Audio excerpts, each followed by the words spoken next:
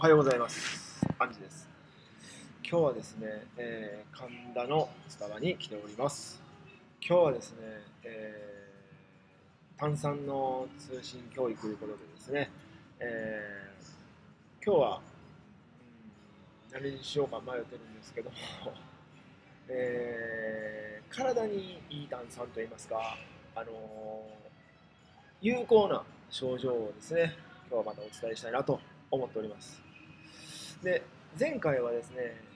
パーキンソンとかですね、そういうちょっと NG な症状をちょっとお伝えしたんですけども、今回は有効な、え症状ですね、お伝えしたいと思います。で、まずはですね、え動脈硬化。で、あとは心臓循環器系の疾患の症状の緩和。であとは糖尿病の、えー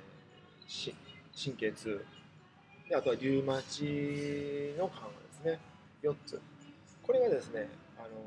有効な症状だと言われています。これはあのまあ、筋肉とかまたそういうまた別のものでの、あの有効な症状で、えー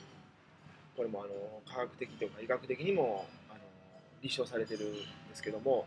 そういうですね、えー動脈硬化で血液の循環が悪いとかですね血流が悪い方に炭酸を、まあ、炭酸泉とかですねそういうものを使って血行を上げていくと動脈硬化がこう薄れてくるという症状が薄れてくるっていうあのものがあるんですがちょっと今手元にあの画像というかないんで申し訳ないんですけどもまたですね近いうちにちょっとあのカバンの奥深いところにあるんで出せないんで、またですね、あの機会があったらまたお見せしたいなと思っております。で、えーまた時間がいけますんで、もう一つ行きたいと思います。あの疲労回復ですね、疲労回復。これはあのよくスポーツ選手とかでもですね、えー炭酸を飲んで、えー疲労を回復するっていうお話をよく最近聞くんですが、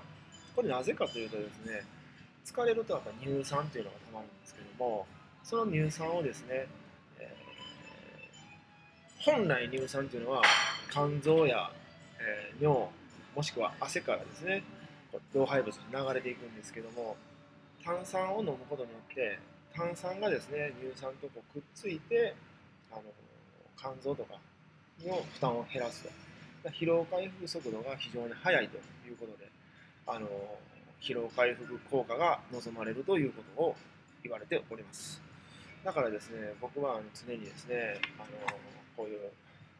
ものをですね1日1本もしくは2本とかですね飲んだりしてます、はい、それでですねあの